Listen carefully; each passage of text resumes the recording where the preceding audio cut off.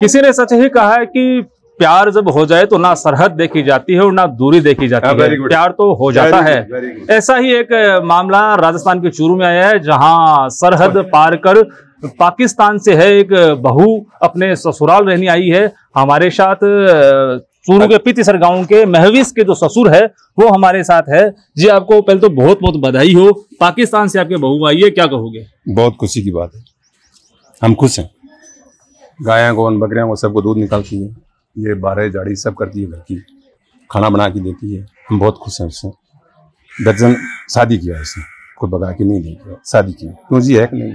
शादी किया लड़के ने। इनका जो प्यार है, ये तकरीबन दूसरी, तीसरी साल लग गई है। और आपसे दोनों ने शादी कर लिया। हमारे को खबर लगी है कि उसने भी शादी कर लिया। हमारे को कोई खबर नहीं थी।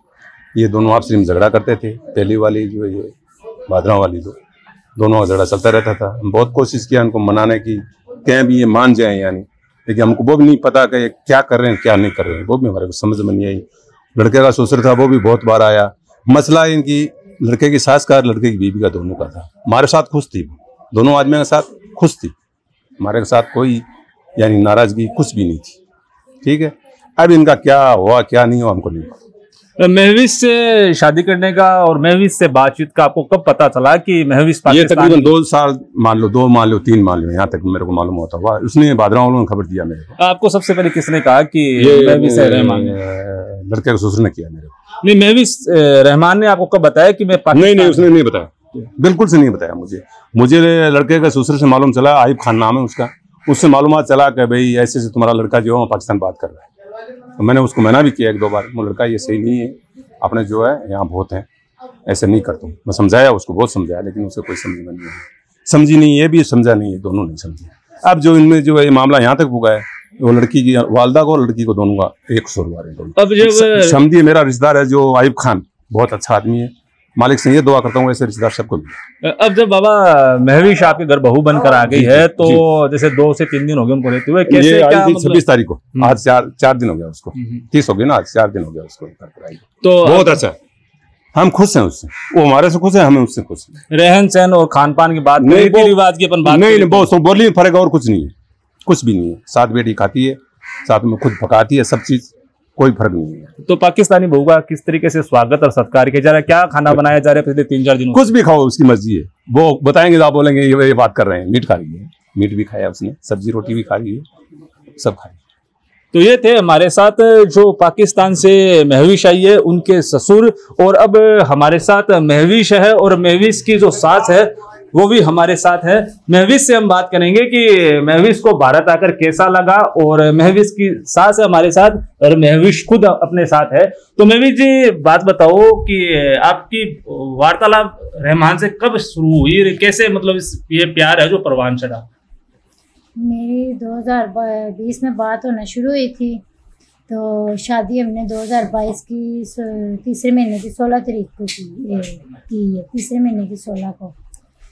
पहले तो इमो पे हमारी बातचीत हुई है हम लोग पहले दोस्त थे दोस्ती में बस ऐसे प्यार हो गया फिर शादी कर ली तो पहले शादी का प्रस्ताव है वो किसने रखा आपने या रहमान जी ने? नहीं उन्होंने नहीं रखा। मैंने रखा था लेकिन शादी का कोई इरादा नहीं था हमारा। हम लोग अच्छे दोस्त थे शादी की तो हमारी कोई ऐसी बात ही नहीं हुई थी। तो बस जैसे समझे बहन भाइयों में भी दोस्ती होती है, अच्छे दोस्तों में भी होती है सेम ऐसी दोस्ती थी हमारी। तो ऐसा हमारे कोई शादी का नहीं था। क्योंकि उन्होंने मुझे बताया था, मेरी बीवी है, मेरे बच्चे हैं, दो। तो लेकिन जब वो इंडिया आए हैं, उसके बाद वो वापस गए हैं तो उदास उदास रहने लगे। मैंने पूछा था, आपको क्या हुआ है? तो मैं भी अपने हर घर की बात शेयर करती थी, वो भी मेरे साथ शेयर करते थे। उन्होंने बताया कि ऐसे ऐसे मेरी बीवी, जब मैं जाता हूँ ना, कभी मुझे खुशी नहीं रखा उसने। लड़ाई झगड़े, लड़ाई। दोस्तों के पास जाके क्यों बैठा है? बाहर क्यों गए हो? बस इसी बात पे झगड़ा मेरे साथ करना शुरू कर देती। कभी मेरे मोबाइलों की चेकिंग करने लग जाती। कहता, मैं तो बहुत तंग आ गया इस से ना। तो आगे से फिर मैंने उसको, मेरी भी उससे बात हुई है, चार पाँच बार हुई है, मेरा पहली बीवी थी इनकी तो उसके बाद उसको मैंने समझाया कि ऐसी कोई बात नहीं है, अपने शोर पे ऐसे इल्ज़ाम ना लगाओ, अपना घर बसाओ, खुश रहो। तो उसने आगे से मुझे बोला, जा तू उससे शादी कर ले। मैंने कहा, मेरा शादी का कोई चांस नहीं है, ना मैंने शादी करनी, मेरा, तुम दोनों खुश रहो, मैं बात भी नहीं करूँगी। फिर ऐसे रहमान के साथ लड़ाई, झगड़े लड़ाई, झगड़े करती रही। वो जब आखिरी बार इधर से गए हैं, रो के गए हैं, बहुत रोए हैं वो। कहते हैं, मेरे साथ ये इतने ड्रामे करती है अभी रूम की तो मैं बात नहीं आपको बता सकती ऐसे ऐसे मेरे साथ करती है ये। तो उसके बाद फिर मैंने अब मैं उसके दुख की सुनती रही हूँ अपना सुनाती रही ऐसे हमारे में प्यार हो गया। मैंने बस उन्हें बोला था कि हाँ मुझे आपसे प्यार हो गया। तो एक मेरा सवाल अहम ये कि भारत और पाकिस्तान के रिश्तों का बारे में आपको भी शायद पता है। तो सबसे पहले आपको मतलब जब आपने प्यार हुआ फिर शादी कर ली तो मतलब भारत को लेकर आपके मतलब जहन में बात करें तो क्या ऐसे सवाल थे क्या ऐसा भारत था? आपके सपनों का भारत की बात करें और आप वर्तमान में जब आए हो भारत, कैसा लगा आपको? मुझे बचपन से सही बात बताऊँ तो मुझे बचपन से मैं ड्रामे वगैरह इंडियन देखती हूँ, अभी भी देखती हूँ। फ़िल्में वगैरह तो नहीं, मैं देखती, ड्रामे देखती हूँ। अब मेरी फेसबुक पूरी फॉलो मैंने की है ड्रामों वाली ना। मैं ज़्यादा ड्रामे पसंद करती हूँ क्योंकि इनका मुझे जो घर के माहौल अच्छे लगते हैं इसी वजह से बस मुझे इंडिया पसंद था। तो उस टाइम तो रहमान थे भी नहीं। तो लेकिन ऐसे जब मेरी किसी इंडियन से बात होती थी तो मेरा दिल खुश होता था कि भाई हाँ ये इंडियन है। तो दोस्तें भी काफ़ी इंडियन अभी तक हैं मेरी। तो हिंदू धर्म में भी है दोस्त इधर की। उसके बाद, क्या कहते, जब मैंने फिर वीज़ा पहले तो मैं सऊदी गई हूँ उधर जाके मैंने मक्का में रहमान के साथ दोबारा निकाह किया। पहले तो मैंने कोर्ट मैरिज की है। उसके बाद मैं उम्रे पे गई उधर जाके निकाह किया फिर मैं वापस चले गई हूँ। उधर से फिर मैंने वीज़ा अप्लाई किया इंडिया का। तब फिर मैं इंडिया आई हूँ। वो भी अपने ससुराल वालों को मिलने के लिए। तो यहाँ आने के बाद में यहाँ का जो कल्चर है और यहाँ का पहनावा है कैसा लगा आपको भारत और भारत की ऐसी क्या चीज़ें हैं जो आपको पसंद बहुत अच्छी लगी। मैं तो अभी तक बाहर नहीं गई ना मैंने देखा है कुछ भी। मुझे इनके घर का बता रही हूँ। घर वाले मुझे बहुत अच्छे लगे हैं। इनका बोलने का तरीका प्यार करने का अलग है। प्यार करते हैं बहुत प्यार मोहब्बत से रखते हैं। अपनी बहुओं के साथ मतलब अपनी बहुओं को उठाते नहीं है, सोए पड़े। मतलब बेटियों की तरह रखा हुआ है इन्होंने।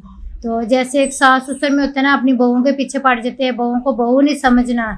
ठीक है, बस अपनी बेटी को बेटी समझ पर इनमें ये चीज़ें नहीं है। ये अपनी बहुओं के साथ बहुत प्यार करते हैं, मोहब्बत से रहते हैं। इन लोगों का मुझे यही चीज़ अच्छी लगी। भारत की बात करें तो ऐसे कौन से सुपरस्टार है जो अभिनेता, हीरो है, जो आपको अच्छे लगते हैं? ऐसी कौन सी हीरोइन है और कौन सी मूवी है जो भारत की आपको अच्छी लगती है?